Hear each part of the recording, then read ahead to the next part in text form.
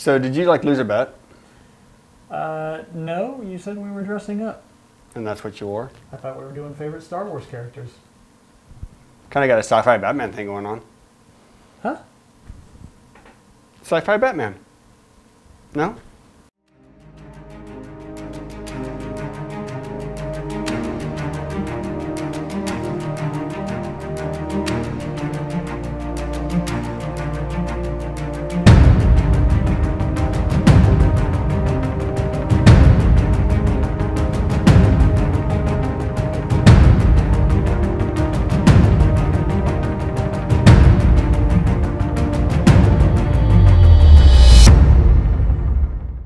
Hi, and welcome to the Halloween edition of This is Gravel. We're going to call it the Halloween edition because we want to put on little mask things. It really has nothing to do with Halloween, but it is close enough that we get to wear mustaches. With me today is our friend LeLan is back. We're so excited to have you back. Well, I'm glad to be back, Bobby. How's the pedicure It, it was lovely. um, traumatizing at times. Yes, Um, yes. The recovery process was uh, longer than expected. But here I am, back and ready to talk. This is gravel. All right. Speaking of gravel, have you gotten out on much? Um, I did actually this past Saturday. I went on my first gravel ride in probably two months. I think I'd tallied up, and so uh, my absence was in um, due to, in large part, the opening of Gravel City Adventure and Supply Company, Right. uh, or at least the reopening of, and we are moved into a new location, and so. Um, that has kept me quite busy and kept me away from the show the last couple episodes and certainly away from my bike. But Saturday, with our grand opening, um, I did lead a 15 mile gravel ride on Good. my fat bike and I loved every minute of it. Go out and do some hills or? Nope. You know, leaving from Emporia, seven and a half ish miles out, mm-hmm. seven and a half miles back, you're really not getting into the hills. So, Good. pretty flat. Good. So, What about you, Bobby? so you've been gone for you know two episodes, but this is the point where you say No, it's been sad. this point where you say what what what did you do last weekend, Bobby? We we really want to hear you about you talk about yourself. so you want to lead in with that. Oh, how I've missed that part of the show. Bobby, what have you been up to? Yay! Because you did ride your bike last No, I did, but I rode um, a 120 mile event, local event, lap of the lakes for it benefited the Emporia Police Department Association Fund, um, and the uh, we have a local trail uh, system, Camp Alexander here in here in Emporia, benefited them also. So it was a good event. It was a long event. I got to got a taste of uh, near single speed when I blew my derailleur, but kept on riding and finished uh, yeah, finished 120 miles. So it was good. It was very windy. I think we had gusts, so at 20 to 30 miles per hour that day. day. consistently all day long. So the wind was consistently over 20. The gusts were closer to 30. So it was a long day, but it was good. So, This is gravel, people. Blow out a derailleur, keep on trucking.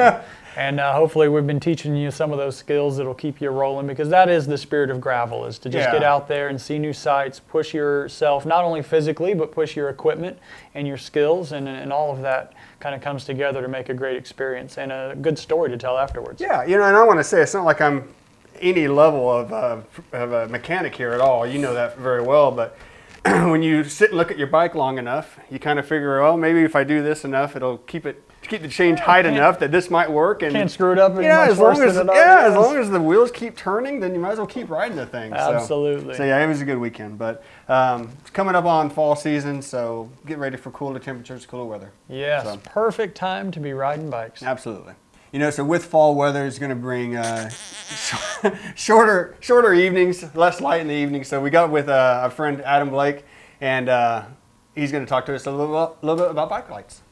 Uh, this is Adam from Gravel City Adventure and Supply Company, and with the changing in the time and the changing of the seasons, I wanted to talk a little bit about different aspects of lights and what you can expect out of different light sets. Um, the first thing to know with lights is there are two different styles.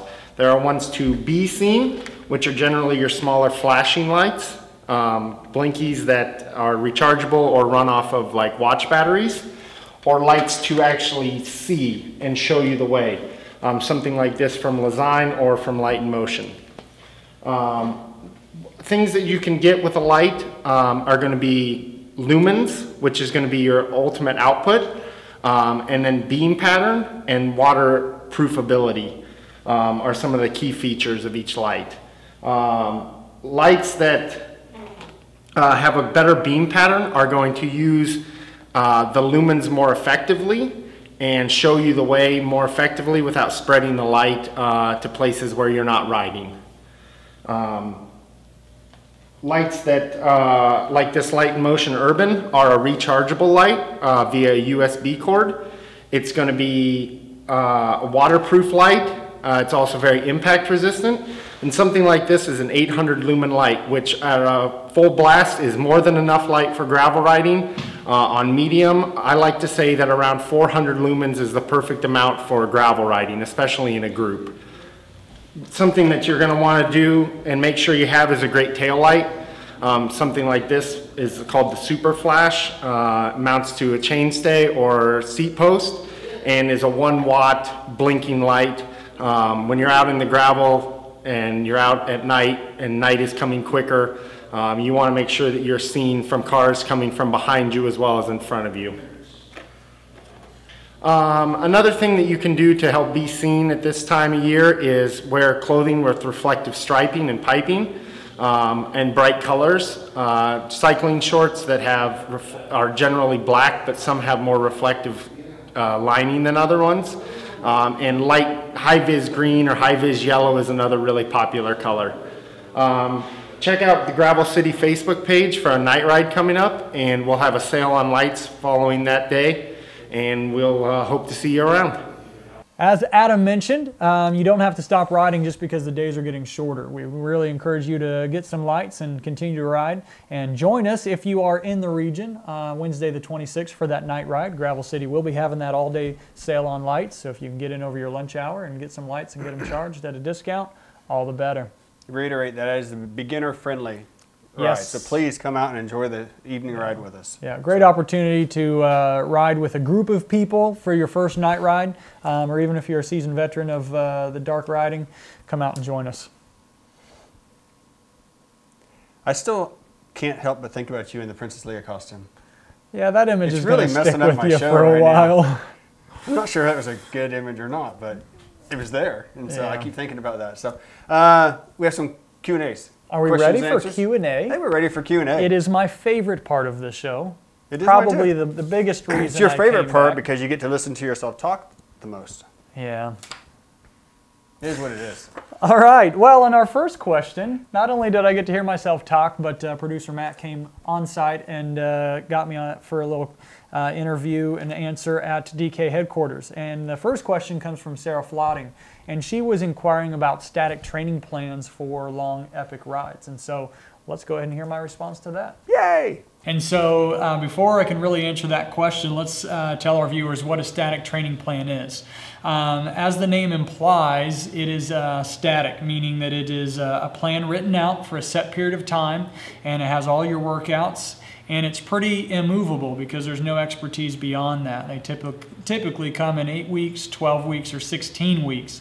And so, over the course of that duration, there'll be workouts outlined that you should go do. Um, to answer Sarah's question directly, she's been struggling to find one for epic endurance events. Typically, static training plans um, cover distances of 100 miles or less because um, they're so variable that it's hard to really put something to paper for that amount of time for a longer event. But we have done such a thing, and you can go to dirtykanzapromotions.com um, and you can actually buy our 12 week static training plan for either the DK200 or the DK100, uh, whichever distance that you're planning for. Um, naturally, those two training plans are going to work for any other event of those distances that you might be going out for. So even if you're not participating in Dirty Kanza, um, you know, the Dirty Kanza 100, of course, will help you prepare for any event. Now, there are some limitations to the static training plans. And so, because they are static, that means you don't have anyone talking with you uh, about the plan. Um, there's no instruction. Um, and most importantly, um, there is no plan B for what happens when life gets in the way and you can't complete the plan as it's laid out on that um, workout schedule. And so, what do you do when uh, life gets in the way or illness creeps up and you miss a few key workouts? Do you skip them and move on to the next week? Do you um, find uh, some time to shuttle things around? I mean, those are questions that are really best served by um, working with a coach, and that's the real value. Um, and so, in addition to the static training plan that we offer at DirtyKanzaPromotions.com, I am also our resident coach. And so, uh, I work with athletes um, on a personal level, and we devise training plans on a weekly basis. And we're in constant contact to make sure that the plan is uh, working as it's supposed to, and that we're working around scheduling conflicts. And so, in short, Sarah, um, visit DirtyKanzaPromotions.com. I would highly encourage you to start with a static training plan. Um, at $24.99, it's a really um, inexpensive way to have a structured training regimen um, that would give you an idea of what it would require uh, to get yourself prepared for the Dirty Kanza. Now, ours being at 12 weeks is relatively short, admittedly. I mean, when you're preparing for something like the Dirty Kanza, it requires um, a long training plan. And so, um, one thing you could do is to repeat that cycle a second time if you start it far enough out or um, again, uh, get with uh, myself if you would like, or find a coach locally that you'd like to work with and have them help devise you a plan uh, that you can follow over the next nine months or at least six months leading into Dirty Kanza. So, Sometimes they're hard to find, but training plans are out there. Um, coaches, is, coaches are accessible and, in my opinion, quite affordable, and they're a great investment uh, into your success of completing epic events like Dirty Kanza. All right, Sarah, hope that answers your question. If you have any questions, you can contact us at dirtykanzapromotions.com. Next question. This is a good one. And it's a question about bike frame materials. So, um, at the heart of the question here is weight versus comfort when it comes to what your bike is made of. Is there um, a correlation between, uh, or is there a sacrifice, I guess, when it comes to getting a lighter, faster bike? Do you sacrifice comfort on the longer rides? So, the traditional answer, I would say, would be yes. And I think if you look at the core heart of the question, the bike materials, yes. If you're just talking about the frame, frame only. Carbon stiffer. Aluminum tends to be stiffer than, you know, you have titanium, steel, aluminum, and then carbon. I'd say is flexibility to, to stiffness. It's, traditionally what you think. Um, but I would counter that with the components today, the seats that we have today, the, um, the, the, frames that we're, that we're seeing on the carbon side today with, with, the different dampening effects that they have built into the frames themselves, that you can't just go strictly by material when you're talking about comfort over the long haul. I would say you're more thinking about geometry. because carbons are built more usually for performance end of it, so they're built with a more aggressive style of geometry. Example, my wife, I got her a, a nice carbon warbird, and actually she's ridden mine and she has an aluminum warbird, hurts her back. But she's a beginner rider. She wasn't ready to jump straight into the geometry of the warbird. So she's on a fat bike. Loves the fat bike. Different style of geometry to it. Not necessarily Still anything about weight. Still carbon frame though. Still carbon frame, but Right. nothing. It's totally com- comfortable. So you have carbon that's comfortable. Different style of geometry though. So as far as the, the comfort level of the frame materials, I think that's a little getting a little bit more gray area now. My Thoughts? thoughts, on it? Well, I want to uh, make sure that everyone remembers that uh, this is a very casual approach on this show. And so there is a lot to get into when you get into the science of the frame materials. And so hopefully we can provide a little bit of feedback uh, without getting too technical about it. But uh, there's two things to consider when you're thinking about the frame materials, if that's what you're hung up on and looking at. Um, that's price and purpose. You've got a budget and you've got a price at which you're willing to spend. And so if the question is carbon worth the extra money, yeah, of course it is if you've got that extra money to spend. Um, but what is the purpose of what you're going to be doing to ride that bike? Is this a bike for commuting from your house down to the office? You probably don't need a performance carbon frame bike. Steel is very durable, easy to repair, and far more affordable.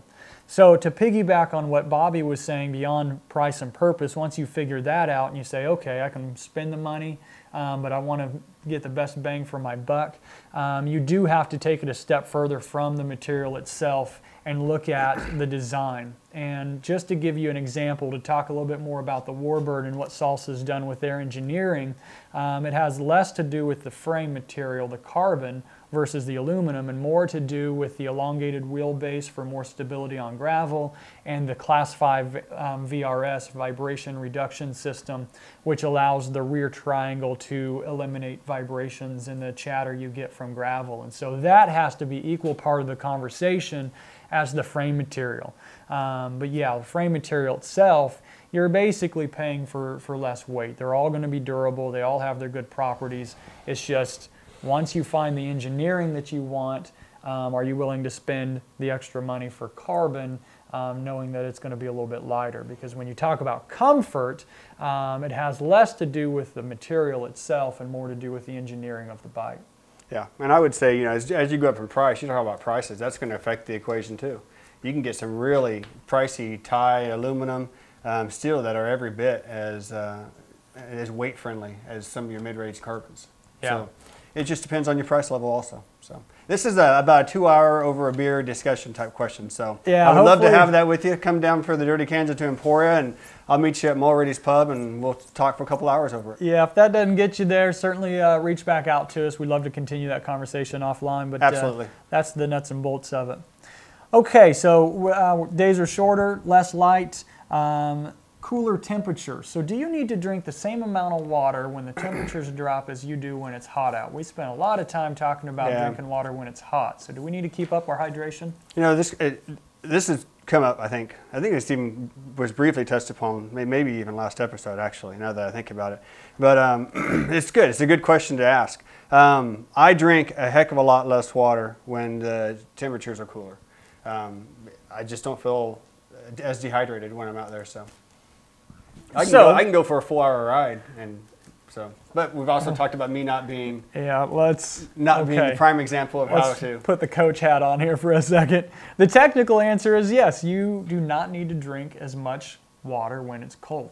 Of course, I just said that. That's what I just said. we understand that, but let me make sure one thing is very clear. You must drink water when you ride your bike. You must drink water to live if you were to sit on the couch all day. So yes, you have to take water when you're out there riding your What about bike, coffee? even when the collar. Can I take coffee on the bike ride with me? At least it's a fluid. It's better than nothing. But um, I would recommend still a bottle every 60 to 90 minutes, even when the temperatures drop. We talked about when it was hot, more um, closer to a bottle every 40, 30 to 45 minutes. So that is a drop in water intake, but don't uh, confuse that for not needing water when it's cool outside. I didn't say cool you didn't outside. need it. I just said I don't drink it always. Okay, next question. Okay, uh, this one's a dangerous question. Um, being married and finding time for longer rides has gotten more difficult. Recently married and tried to go on some longer rides recently. How do you guys fit it in? You're both married. Okay. Disclaimer at the bottom. Producer Matt just got married last weekend. Is Um, this producer Matt's question? I can't comment on that. um, here's what I do know. well, let me let me answer that question with a follow-up question. How long do you want to stay married? Um, well, what's worked for me is just simply not riding my bike as of late. But that's not to keep my wife happy. That's because there's a lot going on in life. Uh, with it, with everything, you got to find a, a happy medium now, and you're sharing your life not only with your bikes now, but with another human being, another human being who's probably going to want some time. So, um, couple that ask for a long ride with um, a sweet gesture and some time spent with the wife, and find the right balance because um, it shouldn't be a, a full compromise one way or the other. You know, as a spouse, you should recognize that riding bikes is a passion that some of us have, and it's a good, healthy outlet, and it should be um, prioritized, uh, but not above um, your new life. You're a marriage counselor now? Look at you go, Look man. at me go. How long you been married? Cycling, uh, we just hit our one year mark, so I kind of feel like One year expert. right there. Okay. Well, I'm going to hit my 20 year mark Oh, let's hear the wisdom. in a month and a half. Um, I will simply say that the happier the, the, the family is, the happier you're going to be. So uh, figure out a way to work it in without messing up anything with family life. The more important question is how many bikes can you buy and stay married? Um, I think that's that's the most important thing you need. I think we into. addressed that uh, three episodes right, back. So, right. So next question. all right. Um, Halloween plans. Um, Halloween is fast approaching. Um, this is our Halloween episode. This is our um, last show before Halloween, Bobby. So tell the world and the viewers what you're going to be doing. Unless it involves illegal activities like pumpkin smashing and throwing eggs. We don't want to No, know. th- no, not this year. I've gotten too old for that. My knees are too bad. I can't run away when I get in trouble. Um, no, I'm going to enjoy my Halloween season this year with the family. So we're taking kids out trick or treating like we always do. Um, we're going to do a maybe possibly a bike ride that you're going to talk about here in a Okay, minute. Okay, question before you progress on I'm your gonna wear the. Princess Leia Family, Uh, that's something I'll have to think about now. Um, traditional neighborhood trick or treating, or now it seems very common to just go to the mall or go to Yeah, a you parking know. lot and do all your trick or treating in one location. Obviously, there's safety you got to think about nowadays that we didn't have to when we were younger. But no, we still do the traditional neighborhood trick or treating. We go out with our kids. My daughters are six and ten, um, and they enjoy going t- together with the cousins. And we go out and walk around the neighborhood and do trick or treating that way. So, not saying the others are bad. The other way is bad. The mall trick or treating that's perfectly fine too. So, yep. Wonderful. Bike ride? we might be doing a bike ride. So there's Okay. there was well there's a there's something you're going to talk about here. Yeah, well, I guess uh, my plans are twofold. For um, October 29th, I will put a plug out there for um, our Boo Cruise, sponsored by our local Babes on Bikes group and Gravel City Adventure and Supply Company. And we will be leading a costume inspired bicycle ride. And so we do ask that the costumes are bicycle friendly, meaning no low hanging um, obstacles that can get tangled up in wheels or anything like that. So uh, be conscious of that. But we'd like to just get together, have a good time, take a short 10 to 15 mile ride. Um, and to top that off, we would like to encourage all of you to get out on your bikes on costume and share your pictures of your bicycle friendly costume and you on your bike with the hashtag uh, Boo Cruise. And then beyond that, for the day of Halloween, Christina and I will be sitting around the home hoping that some people still do their neighborhood trick or treating. You want us to come by? Yes, of course. We can come by. What time will can- candy be ready? Um, sundown. Okay. Yeah, we can come by. Got to come out when the when it's dark. Do you know where the place is? I might have sold you the house. Yes, I, I know where the place is. So, As always, follow us on social media Casual Cyclist, Bobby Thompson, Gravel Guru, hashtag This Is Gravel, and uh, always, always send in your questions. We love answering them. happy Halloween.